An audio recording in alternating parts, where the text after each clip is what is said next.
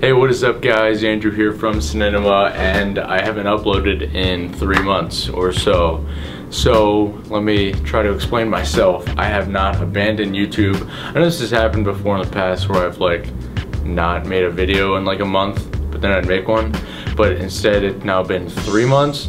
So my summer was like pretty bad. So I was like going through some stuff and now I'm back at college and uh, you don't know, my major is cinematic arts, so I'll be making movies and videos all the time.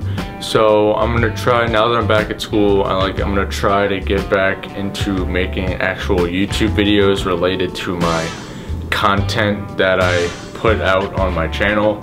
Um, it's been, I've been really lazy, I'll, I'll admit that, um, but I'm gonna try to, like, I know that the next Apple event is coming up in like the next couple weeks where they're gonna announce the iPhone 6 and hopefully uh, the next iPod Touch and all that stuff. So I'm, I'm looking forward to that.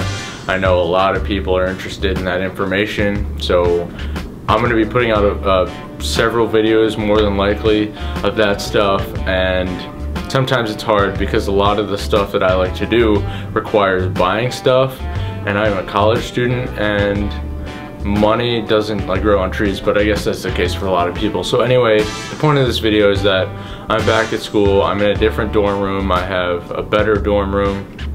Um, and just be on the lookout for more like actual videos coming up. I apologize for being dormant for so long. However, it's not like I haven't been on YouTube in three months. I've been reading comments, I reply to comments, I've been replying to messages. I just haven't been actually making videos. So yeah, I'm just throwing that out there guys. Thank you for being patient with me. Thank you for supporting me this long.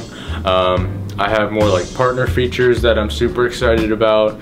I can now make a Spreadshirt uh, store and like make merchandise and stuff if anyone's interested. I know I'm not a ginormous channel, but if there's someone out there that wants a t-shirt or a sweatshirt with the Cininima logo, logo on it, let me know. I can hook you up and stuff like that. So I don't know, comment down below and like any videos that you guys might want to see or something because it's nice to get uh, you know your guys input and whatnot. So anyway I'm not gonna make this video any longer. Thank you for watching this. I hope you can understand.